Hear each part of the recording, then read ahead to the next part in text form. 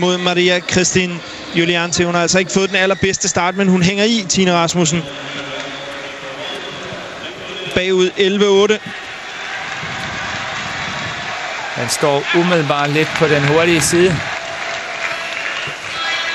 Ja, hun har altså, kan jeg fortælle dig, øh, Morten, øh, synes jeg efter min smag, øh, været sådan lidt for ivrig i sit angrebsspil. Altså, hun har sat angrebene lidt for tidligt ind. Har ja. ikke rigtig fået flyttet Maria Christine rundt på banen. Ja, men det er jo det, at, øh, som, som bliver så utrolig vigtigt for Tine. Det er at have den tålmodighed, som, som skal til, fordi hun har så naturligt et angreb, at, øh, at det bliver næsten for nemt at læse, fordi man ved, at den kommer nedad, men vi skal have brugt hele banen. Det er utrolig vigtigt. Ej, og dem, der, dem er der altså kommet lidt for mange af, Morten. Ja. Lidt for nemme fejl. At der må altså også være nogle nerver på højkant inde på den det bane tror jeg nu. Også, der er. Det tror jeg helt bestemt også, der er.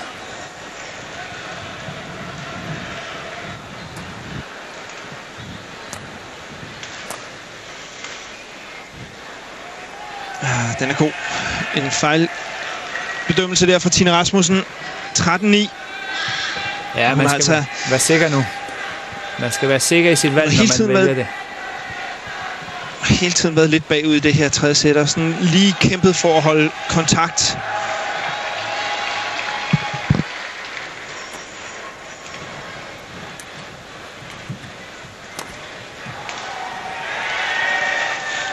Det er godt. 14-9 føring.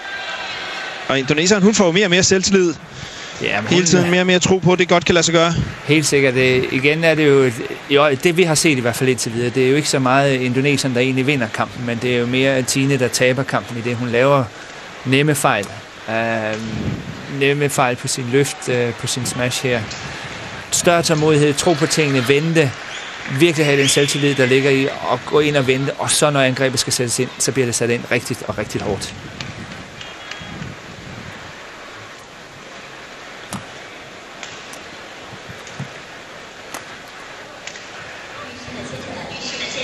Sådan.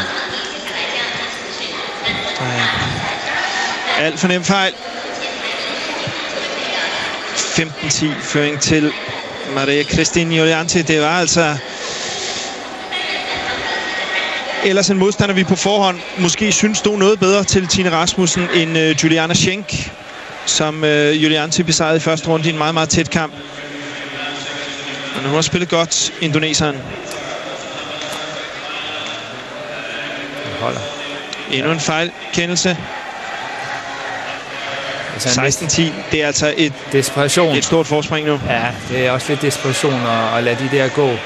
Nu, øh, nu gælder det altså at se op og holde skruen i vandet og blive ved med at spille den tilbage og tro lidt på tingene og vente på sine chancer.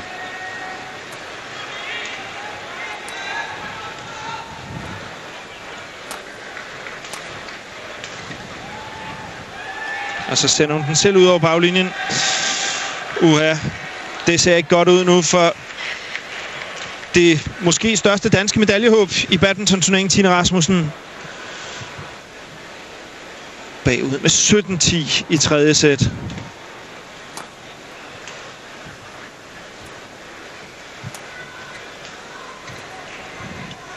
Det er Indonesien, der styrer spillet nu.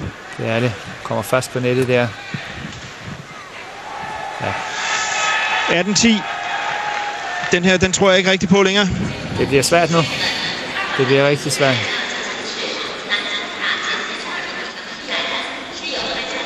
Det er to rigtig rutinerede træner, der sidder ude bag Julianti uh, Lius Bongo, som jeg plejer at spille sing mod. Og så Christian Hardinase, som er dobbelttræner. Og nu er det 19-10.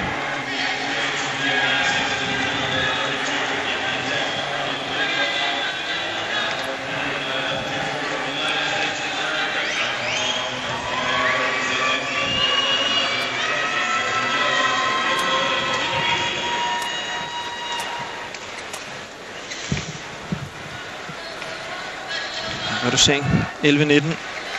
Men det er altså rigtig, rigtig lang vej op nu for Tina Rasmussen. Ja, det skal være nu. Det skal i hvert fald op og have, have kontakt omkring 17.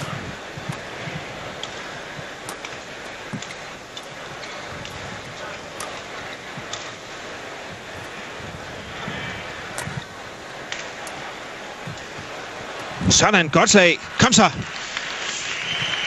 Reducering til 12-19.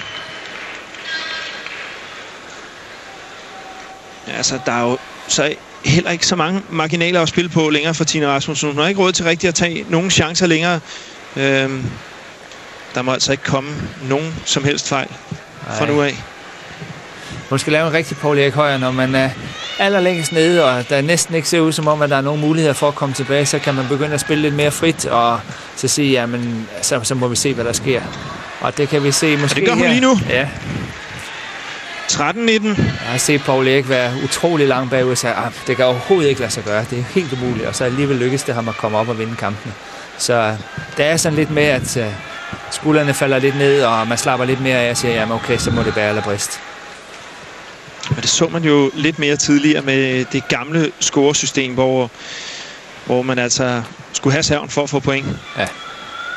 Det gjorde det mere muligt i hvert fald. Ingen tvivl om det.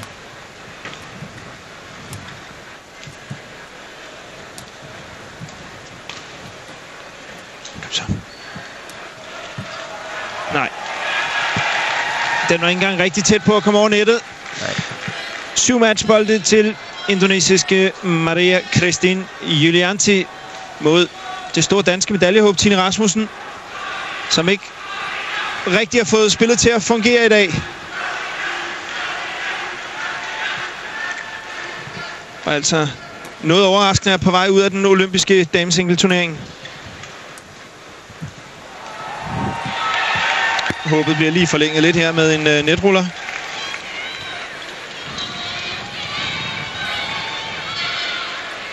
Ja, der skal spilles skarpt nu. Seks bolde i træk. Ingen fejl.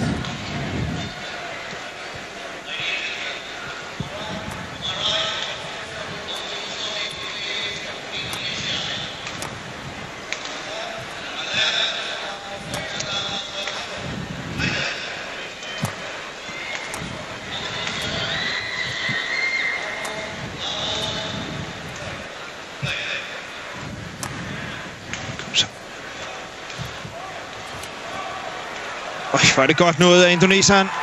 Og der, desværre, er det slut for Tine Rasmussen i den øh, olympiske badminton-turnering. Det bliver til et nederlag til Maria Christine Julianti. Cifrene 18-21. Ja, Tina Rasmussen vinder først 21-18, og så vinder indoneseren de to næste 21-19, 21-14. Det var altså en kold dukker, det her, Morten. Ja, det var det. Det var rigtig, rigtig ærgerligt. Øhm, absolut en af dem, som jeg har troet allermest på, det har været Tina Rasmussen, og at hun skulle tabe den her kamp, det må jeg sige, det havde jeg ikke regnet med. Øhm, men øh, det var ikke Tines bedste dag, så det der, nogle gange, sådan er det jo sådan, og marginalerne var måske ikke på Tines side, og ja, jeg synes jo, at spillet var en lille smule for stereotyp, fik ikke brugt hele banen, øh, som, som jeg ved, hun kan. Men øh, sådan kan det gå en gang imellem. Hun er altså også en dygtig spiller, indoneseren her.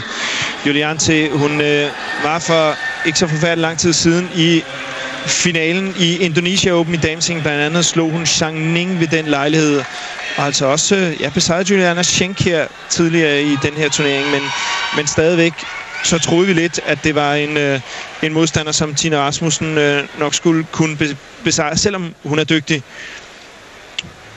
Christine Julianti men der sidder altså nok nogle øh, kinesiske badmintonledere her rundt omkring i hallen, som øh, glæder sig lidt over det her resultat, for der er slet ingen tvivl om, at kineserne, de, øh, de frygtede Tine Rasmussen. Ja, men det, det har du fuldstændig ret i. Der er nogen, der sidder og tænker, uha, det var godt for os. Uh, det var helt sikkert en, en potentiel far, som måtte forlade turneringen for tidligt. Dermed er der ikke mere badminton sådan på formiddagens program. Det har altså været en øh, noget ærgerlig dansk dag i badmintonhallen. Trods rigtig flot indsats, så Kenneth Jonasen blev det til et nederlag i tre sætte. Tætte sæt til Lee Junil 21-19 i tredje sæt. Og nu altså også Tine Rasmussen ude af den olympiske turnering efter nederlag på 21-14 i tredje sæt. Vi har en dansker på programmet senere i dag, og det er Peter Gade, der går på banen.